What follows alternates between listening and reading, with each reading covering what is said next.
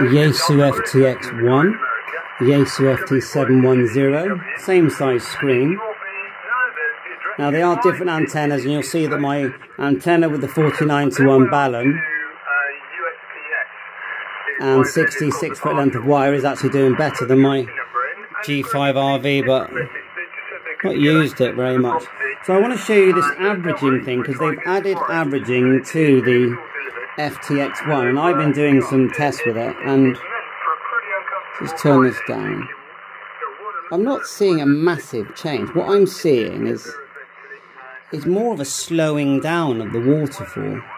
So let's get these so they look similar. I just I've got the D level selected, which you can just select in menu. So get it a bit darker. And if I just turn up, that's the 710.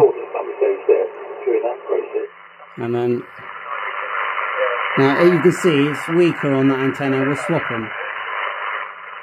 So I want to show you the averaging on the, on, well there's no averaging here so you can see what it looks like, okay? That's just normal settings. Um, just a quick uh, rundown on... Um... So let me just connect this antenna on here, the antenna that you're seeing here, onto the FTX1 and then we're going to start turning on, on the averaging. So I've swapped the antenna. It's quite interesting because look, the 710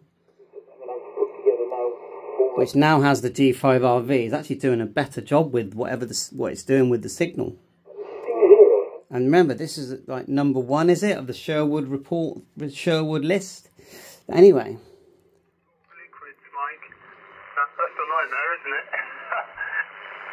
Okay, so now let's turn on averaging. So what you do, you press and hold function, display settings, scope, and then averaging at the bottom and the best setting is about 4 so it's on. Back. And what it's done it's pretty effectively almost done what I did with the the D level setting which is let me just show you where that is. It's just if you go back it's just on both radios it says D level, okay? Tap that and it puts it with the function knob. Right, it's basically like a waterfall game. So, now what is the massive difference with the averaging? I can still, with the function knob here, play around with the waterfall game. Yeah? Look how good this signal is. But anyway, averaging is on. And what I'm physically seeing is the waterfall just seems a bit slower. Let's check the speeds we've got. Fast and fast one. Let's let's no, they're both on fast one now. Let's go back. Do my D level a bit. So we've got average on now. We've got a weak station talking there. Just going to turn it down a minute. Of course you've got, look at these displays on VHF, UHF, Shack in the Box, isn't it? Amazing. Anyway.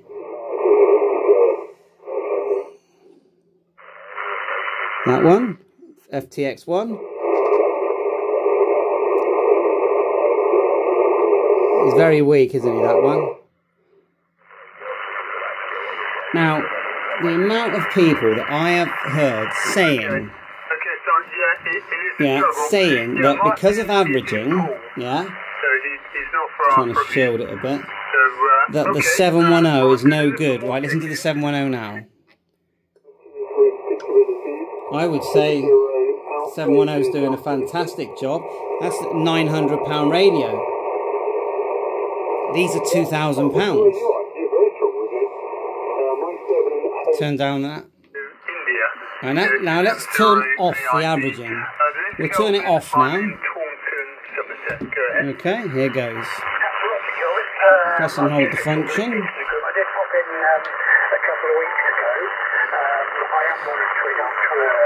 Display, averaging off. Come on then, turn off. off. Back button. Oh, gone off frequency. Now, now it's off. The averaging is off. We're just listening on the FTX. You telling me you can tell the difference? You cannot tell the difference. All these people I'm, I'm using about 300 For years. that have been slating these radios, some of the Yaesu models, because they didn't have averaging in the setting. What a load of hot air. It's just because someone set noticed that on an ICOM they have the setting for averaging, and there are probably 30 settings on the ICOM radios uh, for the scope, and that it didn't have it on the Yaesu. So then the gossip starts, and the word spreads spreads round, and every time someone like John Crook goes on air and someone goes, "Oh, but it hasn't got averaging," what a load of rubbish. But I'd rather have the setting than not have the setting. And of course, the more settings, the more fun, the more you can tweak things to how you desire it. But to all these people who've been going on about averaging, that who have probably never even used averaging, or probably don't even know what it is, and I will Google it again like I did the other day and say what averaging is called. And Google says a feature that reduces noise in a received signal by averaging multiple readings over a period of time. There you go. And we are in quite a noisy environment, I would say. It's not a clean signal, is it? It's not good conditions. So anyway, enjoy your radios, and do I recommend the FTX one? One million percent. Does it break the bank? One million percent. but there's nothing like it on the market. Why? Because it's the only one that dual receives. So I can just go like so. I can even listen to my hotspot. And if I just try and go to this side, and then see if I can find my setting active. Typical that nothing's going to be active now. Was there someone there? That's six meters. Oh, that is so typical. There's nothing else. You can only receive HF one, you know, at one time. You can't receive dual HF. Anyway, it's a dual receive, and of course, you've got the always got the ability to go 3D if you want it. That D level is my favourite setting. Bye for now. Please hit the like, subscribe, 7 3.